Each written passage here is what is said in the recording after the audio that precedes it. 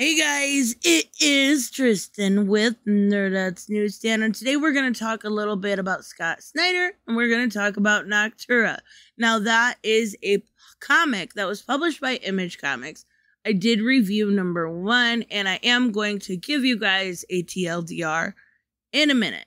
We need to talk about the most obvious thing I think we all saw coming, and that is the fact that it is going to be a TV deal this is awesome. I absolutely love this book and I want to tell you all about it.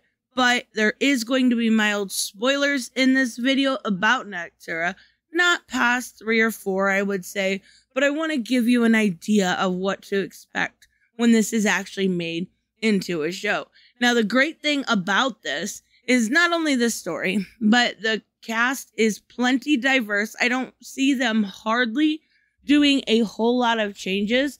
And honestly, I wish, I wish that L- Hawkeye was not going, new Hawkeye, Hawk, uh, Kate Bishop, wasn't going to be played by Hailee Steinfeld because she would be absolutely perfect for this role. She looks just like Val.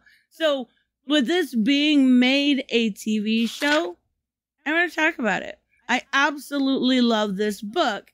And again, it's by Scott Snyder and Tony Daniels. But basically, in a nutshell, the whole big premise is the world has gone dark. One thing they ask over and over again is where were you when the big PM hit?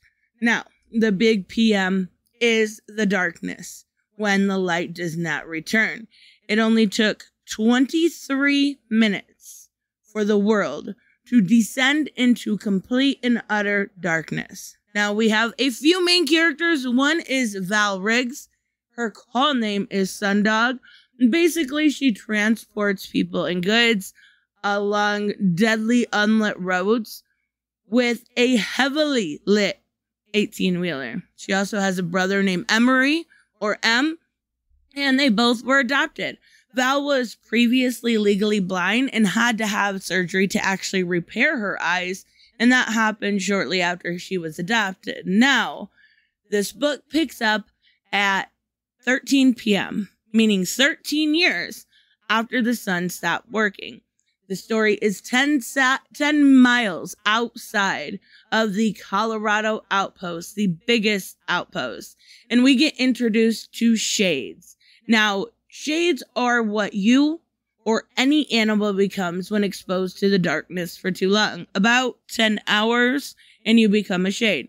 Now, a shade is simply a monstrous version of yourself.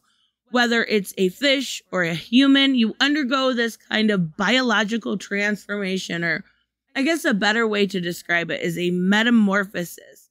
And human shades, they are the apex predators. They communicate with each other. They live together. They hunt in packs. And they can bring down any outpost that they want if it is not properly lit. Now, if caught quickly enough, the process of becoming a shade can be reversed through stuff like dialysis and solar lighting. But if it reaches your gums, it's a bad sign.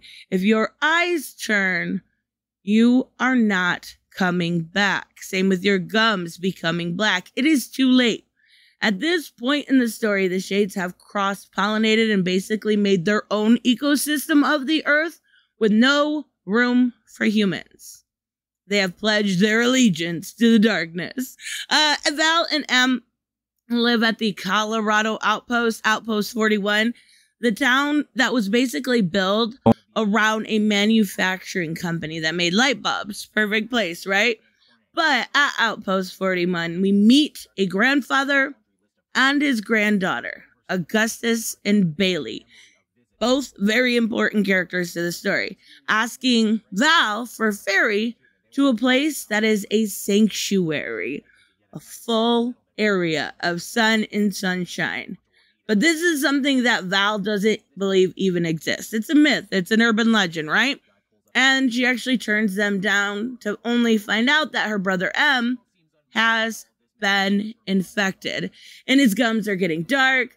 Uh, they start dialysis, but they don't have that solar light that they need and where they were going to get it is in Tipton. Now, Tipton is the outpost that had everything they needed, but it's gone dark. Shades attacked, and they could not fight back. Tipton is no longer. This is when we see Val actually go back to Augustus and agree to take them both to this so called sanctuary so she can get M the help that he needs. But if the money isn't there or the place doesn't exist, she will kill them without a moment's hesitation. So they have 618 miles to go. 16, 618 miles to make it to the sanctuary. But that is when we are introduced to our main antagonist by the name of Blackfoot Bill, who has basically this weird carbo nanotubes molded to his skin. He's just black. And he's on the lookout for Augustus because he's the man that killed the son. We also meet Bellwether, who won't really be super important to the story, but she does become important towards the end. We're not going to discuss that. I don't want to give it all away, but she's a friend of Val and M.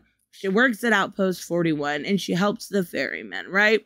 She is the eyes in the sky or on the land or in the dark, whatever you want to say. So, Val and the gang must stop at mile marker 235 at an outpost to charge up the rig. Everything is electric, right? And we learn from Augustus that he and his brother invented a machine that was supposed to see invisible cosmic particles, matter basically, that passes through our universe without interacting with anything, not even light. They don't interact with light because they are actually from an alternate plane called Terras. Now, there is the, the fourth. The one they live on is the fourth Terra, but there is nine Terras altogether. The first Terra is called Lux Terra, L U X. And the machine was supposed to open a doorway to this Terra of heavenly light, right? But it keyed in upon the wrong particle and opened the wrong doorway. And that is essentially what caused all this. But right on their tail is Blacktop Bill, who has every intention of killing Augustus. And during the confrontation, um, as he pleads for his life, basically, Augustus spills the beans that he has, in fact, created what we probably could have all guessed hell on earth. Even if not on purpose, he created the worst kind of darkness and tells her, tells Val, there is no way back. But he can save Emery if, if she is just able to get away from Blackfoot Bill or Blacktop Bill. I'm sorry. But in a mere moment of sheer stupidity or selflessness, I'm not really sure which one, Augustus opens up the back of the rig and tells Blackfoot Bill to come and get him. Uh, and he does with a massive harpoon through the chest.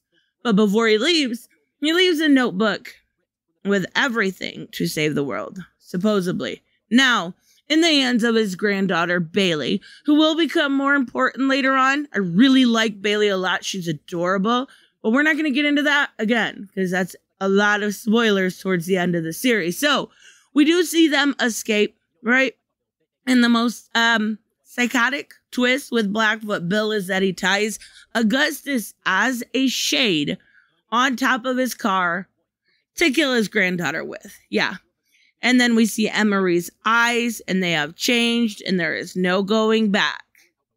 And then there's two more issues. But with that, I think basically you can understand what they are going for. A world filled with darkness, a world filled with dramatics, whether it is the heroine or it is the antagonist. This world that Scott Snyder has built is fantastic and I absolutely love every minute of it. That's why I'm not really ruining it because I think you should definitely check it out. It is my favorite as far as the creator owned titles. I love Geiger and some of the other Carmen, some of the other ones too, but this is right on top. And I really want this TV show to do well. I really am excited for what they make of it. Again, just pay for Hailee Steinfeld. She's absolutely perfect for Val. I would love to see that. So let me know, of course, what you guys think about whether it's Nocterra the story, or whether it's the TV show that's coming up. I'd love to hear about it. I will see you guys in the next one. Bye bye.